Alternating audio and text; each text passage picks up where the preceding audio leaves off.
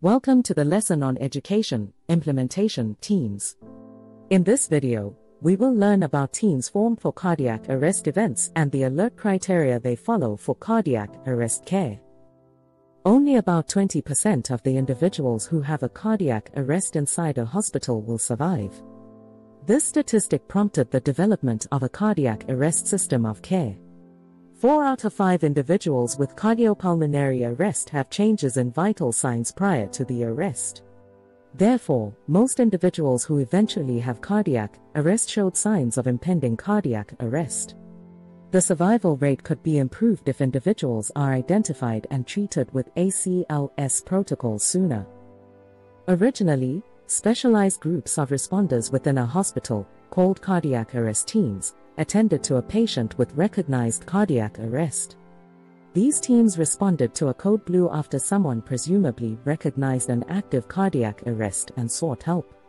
Many believe cardiac arrest teams would improve survival rates, but the results were disappointing. Studies show that survival rates were the same in hospitals with cardiac arrest teams as in those without a team. As a result, hospitals are replacing cardiac arrest teams with rapid response teams, or RRTs, or medical emergency teams, or METs.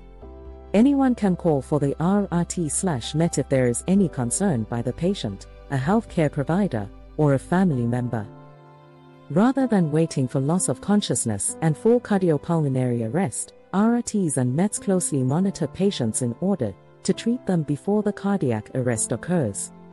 These teams combine the efforts of nurses, physicians, and family members to detect an impending cardiac arrest. When hospitals implement RRTs or METs, there are fewer cardiac arrests, fewer ICU transfers, improved survival rates, and shorter length of inpatient stay. The alert criteria for RRTs and METs includes threatened airway or labored breathing, altered mental status, bradycardia, that is fewer than 40 beats per minute, or tachycardia, that is more than 120 beats per minute, seizure, hypotension or symptomatic hypertension, and sudden and large decrease in urine output. This concludes our lesson on education, implementation, teams. Next, we will review respiratory arrest.